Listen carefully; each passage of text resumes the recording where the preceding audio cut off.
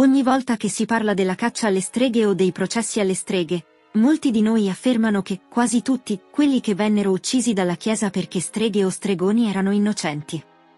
Ma perché non diciamo tutti? La caccia alle streghe era un pretesto utilizzato da persone influenti, persone maligne, vicini invidiosi o consorti gelosi per liberarsi di persone scomode.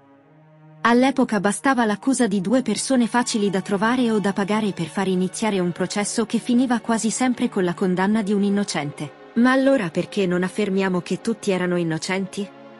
Crediamo ancora che la stregoneria esista? Alcuni diranno di sì, che la magia nera influisce ancora oggi su luoghi e persone. Altri saranno più scettici, ma sospettano comunque che ci sia qualcosa di sconosciuto e misterioso che avvolge le nostre vite. Ma per questo caso non possiamo dare un giudizio così leggero. Questa storia si svolge oltre 350 anni fa, quindi è possibile che la storia sia stata modificata, distorta o manipolata nel corso dei secoli. Ma così come viene raccontata nei libri oggi, ci fa riflettere e ci fa dubitare almeno un po'.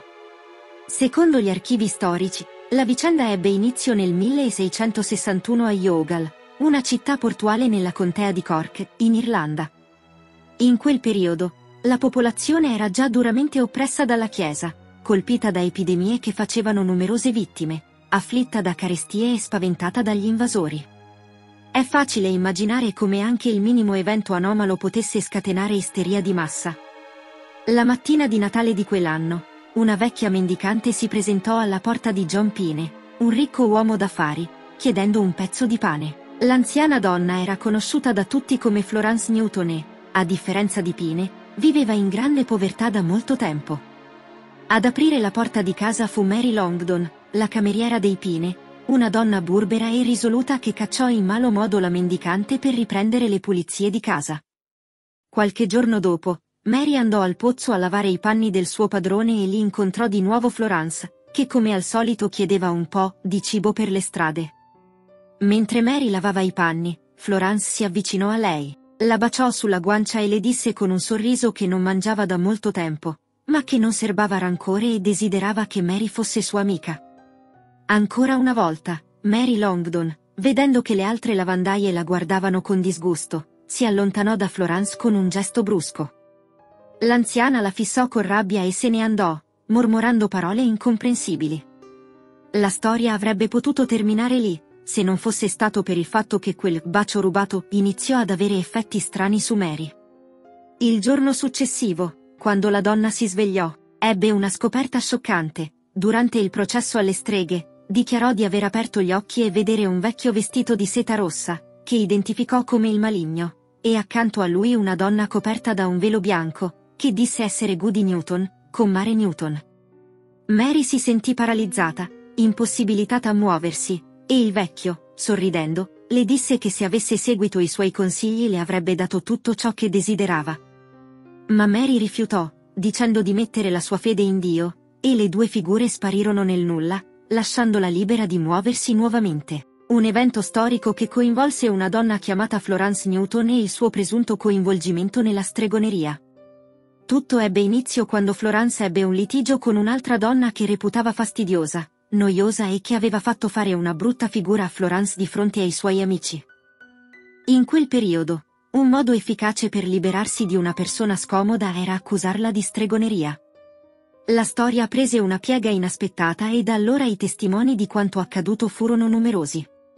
I documenti scritti dell'epoca, ancora custoditi nel Museo Storico di Kinsale, riportano un resoconto dettagliato del processo a Florence Newton. Il tribunale, composto da diversi testimoni tra cui amici di Mary Longdon, medici, studiosi e persone dell'aristocrazia locale, raccolse testimonianze di strani fenomeni paranormali che si verificarono nella casa di Florence.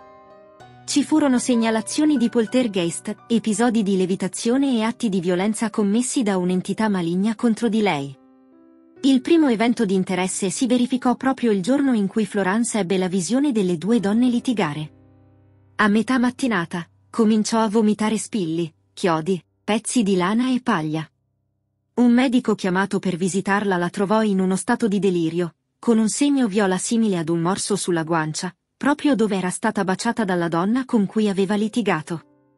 Nei giorni successivi, mentre Florence era nei pressi di un pozzo per lavare i panni, fu colpita da pietre lanciate dal cielo e riportò lesioni alla testa, braccia e schiena. Per circa tre mesi, Florence fu aggredita da una forza invisibile di fronte agli occhi dei cittadini, che la strattonava e colpiva. A causa di queste continue aggressioni, Florence decise di rifugiarsi in una vecchia casa abbandonata nei pressi di un bosco, dove pensava di potersi nascondere facilmente in caso di pericolo. Gli anziani della comunità sigillarono le porte e sprangarono le finestre della casa di Florence per proteggerla dall'influsso maligno che sembrava la perseguitasse. La gente era convinta che gli eventi fossero imputabili a una strega e un gruppo di persone decise di dare la caccia a Florence per consegnarla alle autorità. In seguito, Mary Longdon fu testimone di una visione in cui Florence levitava fino al soffitto. Il prete ordinò quindi che venisse legata al letto e sottoposta a un rito di benedizione per proteggerla. Il 24 marzo 1661, Lord Mire, sindaco di Youghal, fece imprigionare Florence insieme ad altre due donne del luogo, Goody Alfpenny e Goody Dodd, in attesa del processo. La notizia si diffuse velocemente e si cominciò a parlare di congreghe di streghe, sabba nei boschi e riti malvagi al chiaro di luna. Il caso era così importante che il procuratore generale, Sir William Ashton, presiedette il processo. Prima di interrogare l'accusata, ascoltò numerose testimonianze di cittadini che avevano assistito alle sofferenze di Mary Longdon. Fuori dal palazzo di giustizia si riunì gran parte della cittadinanza, ognuno con le proprie opinioni sulla strega Florence. La prova più evidente del coinvolgimento di Florence nel caso era il viso sfigurato di Mary, con una guancia infettata e lacerata che mostrava la carne e l'interno della bocca. Tuttavia, per dimostrare che Florence e le altre due donne erano streghe, si decise di seguire i dettami dell'Inquisizione, con test e verifiche approfondite. Florence, temendo l'orribile prova dell'acqua che poteva causare la sua morte, si prese tutta la colpa e scagionò le altre due donne. Durante questa prova, l'accusato veniva legato e immerso nell'acqua di un lago per diversi minuti. Se affondava, veniva considerato innocente, se galleggiava, era colpevole. Florence confessò di essere l'unica strega di Youghal per evitare questa terribile prova. La prova decisiva fu l'incapacità di Florence di recitare correttamente il Padre Nostro. Durante il processo a Cork, le fu chiesto di recitare la preghiera e la donna tralasciò le parole, e rimetti a noi i nostri debiti. Questa mancanza convinse i giudici a farla incarcerare in attesa della sentenza di morte. Il carceriere provò a insegnare a Florence la preghiera corretta nella speranza che potesse invertire la condanna a morte. In segno di gratitudine, Florence gli baciò la mano. Pochi giorni dopo, l'uomo morì di polmonite, maledicendo Florence sul letto di morte. Gli altri carcerieri riferirono di aver sentito rumori spettrali provenire dalla cella di Florence. Quando fu comunicata la condanna a morte, Florence confessò che il demonio l'aveva visitata sotto forma di levriero nella sua cella, forse cercando di spaventare i giudici e gli astanti. Ammise di aver gettato il malocchio su Mary Longdon, ma negò di essere una strega. I documenti storici non forniscono dettagli sulla conclusione del processo, ma è praticamente certo che Florence Newton sia stata giustiziata. Successivamente, Mary Longdon sembrò guarire dalla malattia che aveva sfigurato il suo viso e non fu più coinvolta in fenomeni strani.